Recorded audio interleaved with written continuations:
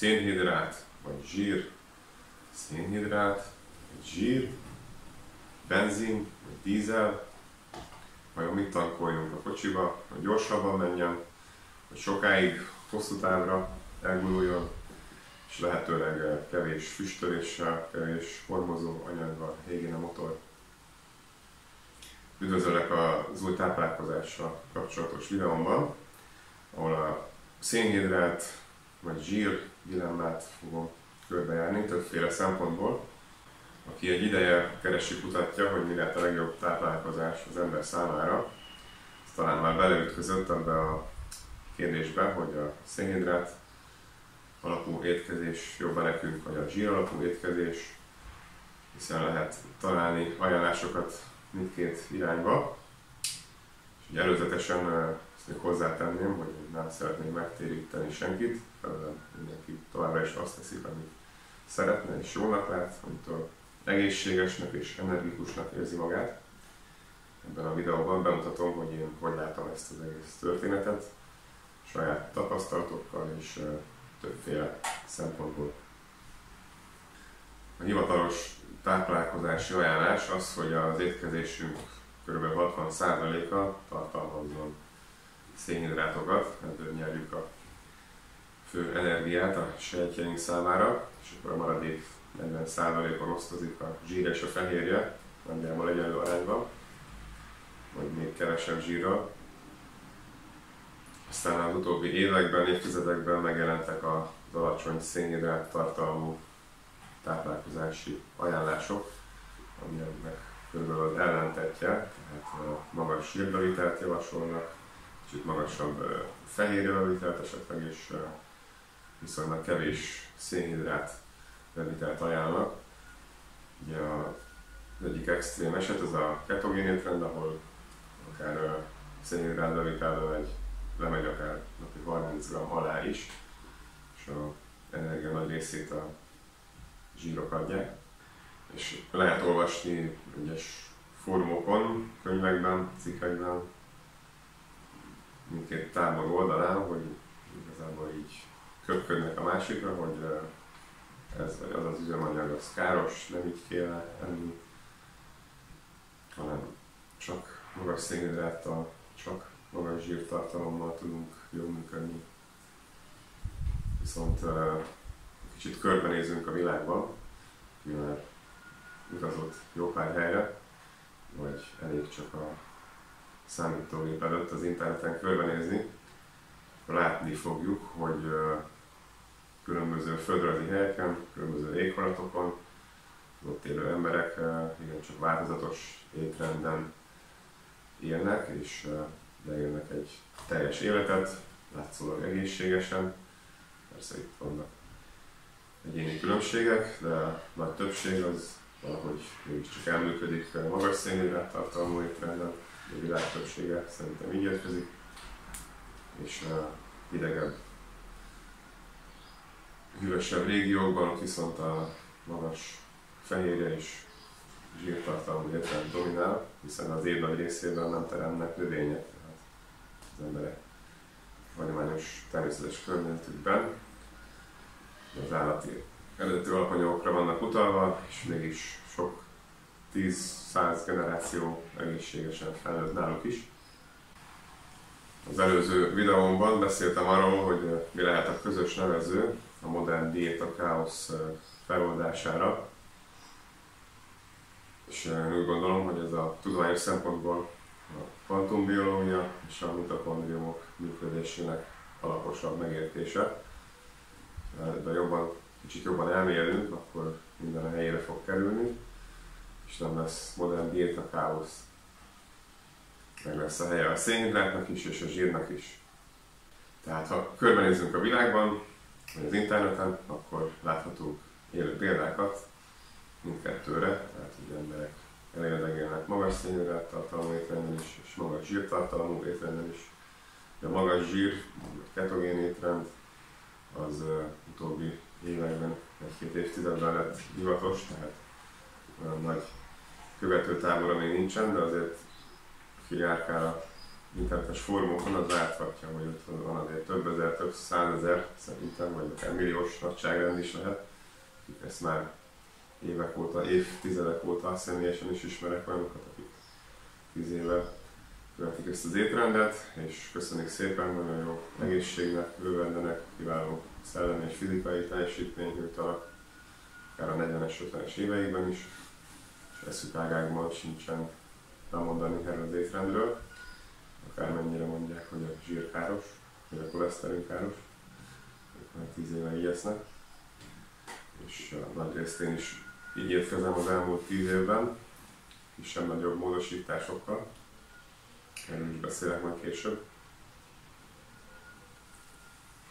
A tudományos szempontból nézzük a dolgokat, kvantumbiológia és mitokondriumok működésének szempontjából, akkor azt láthatjuk, hogy igazából nincs nagy dilemma, mindkettőt el tudjuk égetni mitokondriumokban, belélegzett levegőből nyert oxigén segítségével.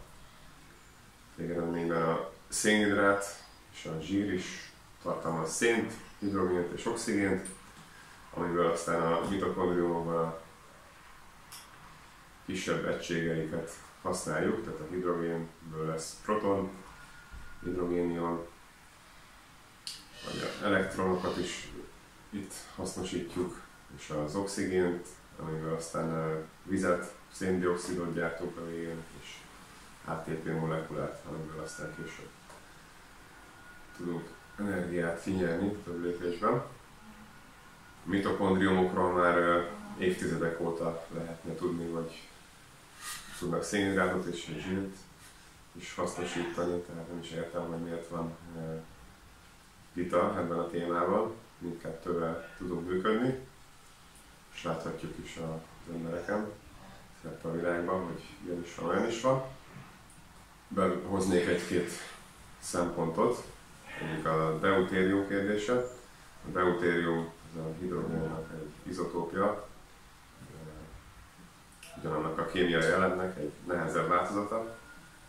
A deutérium közel kétszer olyan nehéz, mérete is jóval nagyobb, mert a proton és elektron mellett tartalmaz egy plusz neutront is. Az apró részlet annyiba számít, hogy a biokémiai reakciókban enzimeket, enzimek dolgoznak, és a, a normál hidrogén ionra lettek kalibrálva, tervezve, és a deutérium mivel nagyobb méretű, ezért nem passzol ezekhez az enzimekhez, megállíthatja ezeket a kémiai, biokémiai folyamatokat. Így kell elképzelni, mint hogyha egy nagyobb kődarab kerülne a fogaskerékbe, és akkor leáll normálisan működő biokémiai folyamat. Tehát nem passzol az enzimeinkhez, deutériummal, főleg a mitokondriumokban és a körülötte lévő egyéb folyamatoknál, mint például a citrátciklus. És a általánosságban a szénhidrátok nagyobb koncentrációban tartalmazzák az deutériumot, a zsírok jóval kisebb arányban, tehát ilyen szempontból egy egészségesebb választás. A deutériumra nem úgy kell tekinteni, mint egy teljesen kerülendő méregre, hiszen valamiért a biológia, a természet használja testünkben, csak kis mennyiségre van szükség belőle. Tehát a deutériumnak is van fontos szerepe, szabályozó szerepe. Erről talán majd egy másik videóban. A mitokondriumokról lehet azt is olvasni, hogy a zsír az igazából gazdaságosabb üzemanyag, mert egységnyi kiindulási anyagból 3-4-szer annyi energiát tudunk termelni belőle, mint a szénhidrátokból, és kétszer annyi deutérium csökkentett vizet tudunk gyártani, mint a kondriumokban belül. Aztán teljesen mindegy, hogy milyen élelmiszert viszünk be, a szervezetünk szereti használni a zsírégetést, mert ez egy gazdaságosabb folyamat, főleg az alacsony intenzitású alapvető életfunkciókhoz. Ugye a hosszú evolúciós út során ezért is építettük a mitokondriumokat, hogy gazdaságosan tudjunk energiát termelni oxigén segítségével. És egy érdekesség, hogy a záróképességi sportolók azért alapoznak hónapokig, hogy minél tovább maradhassanak ebben a gazdaságosabb zsírégető üzemmódban, és minél később érjék el a cukor szénhidrát égetésen alapuló anaerob, úgynevezett anaerob küszöböt, amikor csak szénhidrátot égetnek az izmok. Gyorsan, de gazdaságtalanabbul. Tehát képességi sportolók is szeretnek sokáig zsírt égetni, minél magasabb intenzitással, ezért alapoznak sokat. Még akkor is, hogyha magas szénhidrát tartalmú étrendben vannak. Tehát nem olyan egyszerű fekete-fehér a helyzet. És én azt szoktam mondani, hogy a tudomány során támasztja, hogy az ember egy igazi csoda, egy túlélőgépezet, nagyon alkalmazkodóképes, igazából el tud ketyegni sokféle üzemanyagon, és a DNS-ünkben ott van a kód, információ ahhoz, hogy kiírjuk a szükséges fehérjéket, enzimeket, lebontó enzimeket a zsírhoz is, vagy a szénhidráthoz is.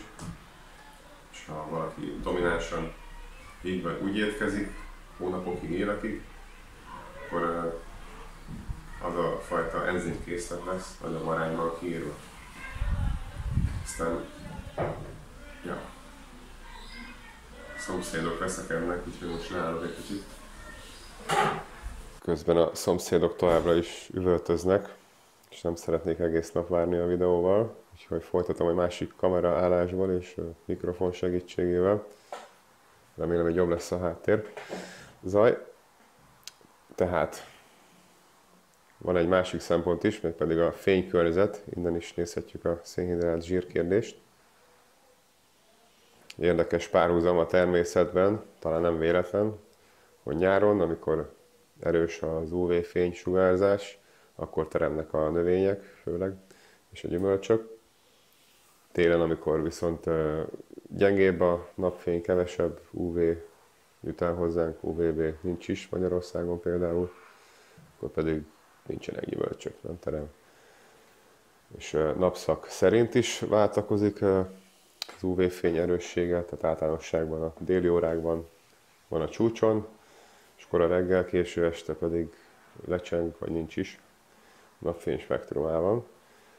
És ja, én szeretem ehhez igazítani a táplálkozást, tehát nyáron szerintem jobban passzolnak szénhidrátdúsabb élelmiszerek, télen pedig a zsírdús étkezés kellene, hogy domináljon és ugyanígy napszak szerint én úgy szoktam, hogy reggeli vacsora, az főleg magas zsírtartalmú, alacsony szénhidrát tartalmú étkezés, és akkor ebédre, déli órákban, napközben szoktam magasabb szénhidrát tartalmú élelmiszereket fogyasztani.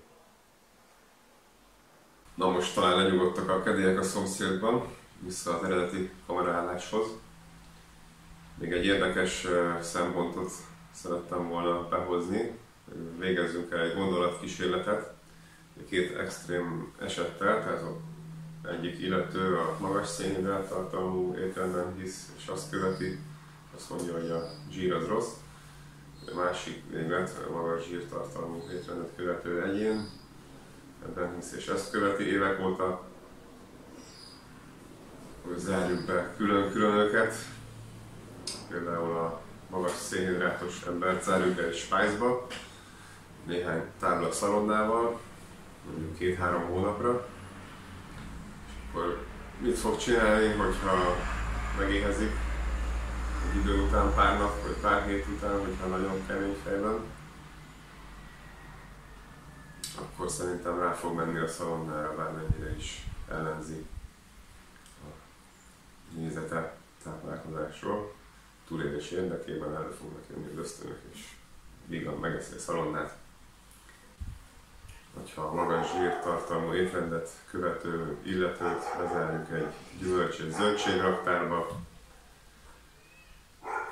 hosszú lejáratú kenyérrel például, akkor lehet, hogy egész jól bírja a zsíralapú étkezés alapján a éhezést, azért pár hét múlva lehet, hogy ráugrik a szénhidrátokra, ha tetszik neki, ha nem, duzzogva, szeretne ő is túlélni és előjönni belőle a túlélési ösztönök.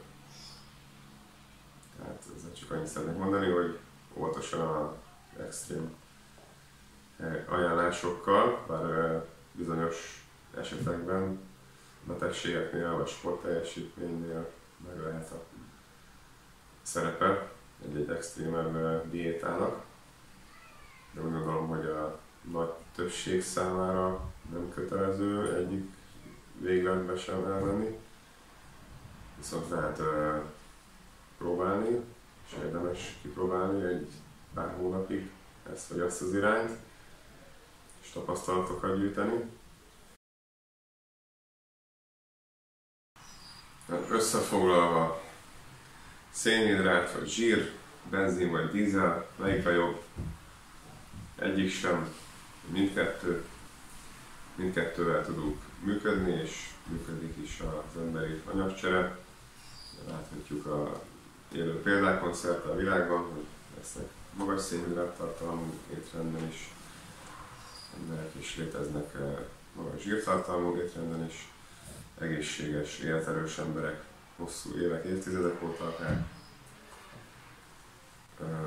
Vannak persze különbségek a kettő között, energiatermelés hatékonyság szempontjából, de mindkettővel igazából elketyeg a motor. Ha engem kérdeztek, akkor a saját tapasztalataim és a tudományos olvasmányaim alapján én jobban szimpatizálok a magasan zsírtartalmú étkezéssel, de nem tartom önöktől valónak, vagy teljesen károsnak a szénhidrát sem. Ezt valahogy úgy tudnám leegyszerűsíteni, hogy nézzük szezonálisan, napszak szerint a dolgokat. Tehát nyári időszakban jobban passzol a szénhidrát, téli időszakban jobban passzol a zsír, és fontos még a sport teljesítmény és a sport edzések intenzitása, tehát nagy általánosságban sportolók több szénhidrátot ehetnek büntetlenül, vagy javíthatják is a teljesítményüket, főleg a terülálló képességi sportokban, ahol domináns a cukorégetés. Szeretnél többet tudni az egészséges táplálkozásról, vagy a sportteljesítmény fokozó táplálkozásról, ilyen szempontok számítanak még, és milyen köztudatban lévő tévhitek, dilemmák vannak itt a modern diéta káoszban, akkor ajánlom a Táplálkozás Vallások 2023 című e-bookomat. Írtam részletesen mindegyikről. Ezt be tudod szerezni a videó leírásában található linken keresztül. Köszönöm, hogy velem tartottál, remélem sikerült tisztázni néhány kérdést a szénhidrát zsír dilemmával kapcsolatban. A téma elég nagy, úgyhogy valószínűleg készítek róla négy videót. Ha tetszetted az anyag, akkor kérlek nyomj egy lájkot és iratkozz fel a csatornára, ez nagyon motivál engem is a további videó készítésére. Van még bőven mondani való. Találkozunk hamarosan, addig is jó erőt és egészséget, további jó étvágyat kívánok!